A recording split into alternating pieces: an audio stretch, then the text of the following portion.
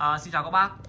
Thì uh, tiếp tục là một con đẩy đỉnh cao của nhà Famuso Đó chính là mã đẩy PCM20 của Famuso Thì uh, cái mẫu này ngày trước em cũng đã về được 5 con. Thì hôm nay ờ, uh, này có tiếp tục một con nữa. Rất là hot. Thực ra là mẫu này thì về con nào thì uh, các bác cũng đặt hết con ý. Nên cũng uh, rất là hiếm ở trên thị trường đấy. Bác nào mà có thể tham khảo ở trên thì gần như gần như nhá các bác có thể gõ YouTube này gõ Google này em khẳng định luôn ở thị trường Việt Nam chắc em là người nắm giữ và bán nhiều con đẩy Famuso PCM 20 nhất. Con này là em cũng nói luôn là con thứ sáu thôi. Nó rất là hiếm và rất là ít ở thị trường Việt Nam. Ờ, tại sao thị trường Việt Nam nó hiếm và nó ít như thế? Vì nó đắt. Mới của nó khá là đắt. Đấy.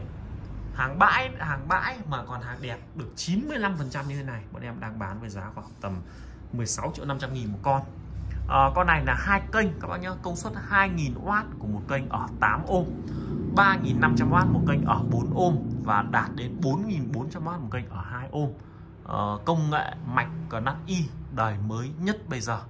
Cnat Y thì trung mâm với cả những con uh, ờ, XTI XTI rất là cao đấy XTI 4.000 8.000 của ờ, uh, Crown ấy.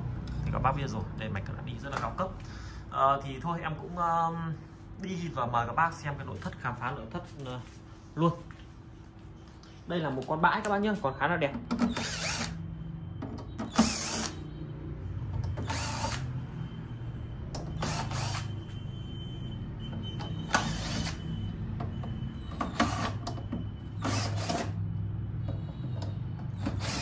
À, các bác lên nhớ một điều là một con đẩy hay một con đẩy xịn một con đẩy cao cấp nó không phải là tiếng sáng mà là hay à, em phải chia sẻ lại. Một con đẩy chất lượng cao một con đẩy hay ấy thì là càng đẩy xịn bao nhiêu thì nó sẽ cho cái độ méo tiếng của âm thanh. Có nghĩa là cái tín hiệu méo khi nó khuếch đại âm thanh lên là thấp nhất. Đấy thì ờ, và cái cái chất lượng âm thanh nó đạt ra là hay nhất. Thì tại sao nhiều con đẩy nó rất là đắt? Và công suất nó cũng rất là bình thường. Hoặc là nhiều con đẩy thì ờ, uh, các cái linh kiện của nó chiếm cái về cái giá trị của nó đẩy nó rất là cao. Đây các bác cùng nhìn xem. Máy rất là đẹp nhé có bụi các bác nhé máy có bụi nhưng mà cái này vệ sinh qua là rất là sạch rất là đẹp. Mới được 95 phần trăm. Tất cả tủ này phẳng ly đẹp được chưa? Phẳng ly hết 100 phần trăm. Cnat Y các bác cùng nhìn. À, thực ra Cnat Y và Cnat TD nó không khác biệt nhau là bao nhiêu. Rất nhỏ rất nhỏ. Bình thường mình uh, nhìn qua máy thì cũng không thể biết được nhưng đây là cái công nghệ của hãng đóng vào thì bọn em mới biết là Cnat Y PSM 20 ở đây là nguồn sung nhá cái nguồn của nó này. Các bác nhìn cái nguồn này. Đấy, cái nguồn nó chiếm hết cả cái máy luôn hai cái máy công suất hai bên. Bình thường các bác xem một con đẩy uh, một con đẩy uh, bình thường cái nguồn nó không được gấu như này đâu. Nó không được gấu như này đâu con này nguồn nó rất là kinh khủng và gấu. Đấy. máy hai bên cái y thì các bác hỏi là Cnat Y và Cnat TD thì cái mạch nào nó hay hơn? Thực ra là cũng khó giải thích lắm. Uhm, với cùng cái tầm tầm tiền thì nó cũng không con nào nó nổi trội hơn con nào. Chủ yếu là các bác thích cái máy nó sản xuất theo công nghệ và cái chất lượng như nào thôi. Chứ các bác ví dụ là các bác so sánh mà ừ anh mua con đẩy độ khoảng 12 triệu và con đẩy 16 triệu con nào hay hơn? Đấy thực ra là nếu mà để âm thanh test vào loa nó không chênh nhau quá nhiều. Nhưng về cái khi các bác nghe những cái bản nhạc thực sự chi tiết và bác nào có một đôi tai nghe thực sự tốt thì các bác mới phân biệt được là uh, những con máy nó xịn những con máy đắt tiền thì nó sẽ đưa ra được cái giải thứ nhất là đủ giải cho các bác đủ giải âm thanh.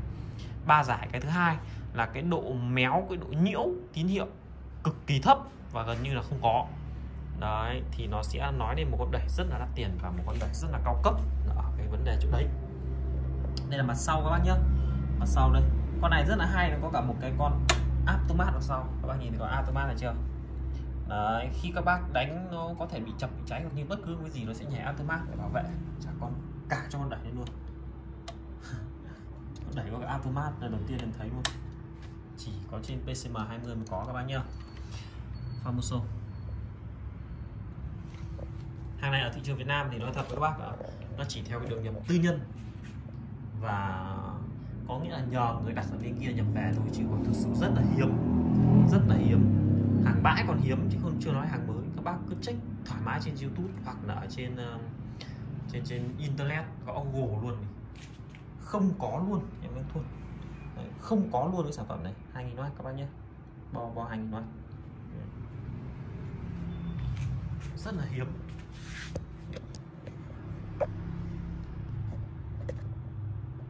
Con này đánh bright cao nhất của nó lên được 7.800W các bác nhé đánh chập bright đánh sẽ lên được 7.800W và bây giờ mình sẽ test thử một uh, bản nhạc cho các bác cùng nghe thử.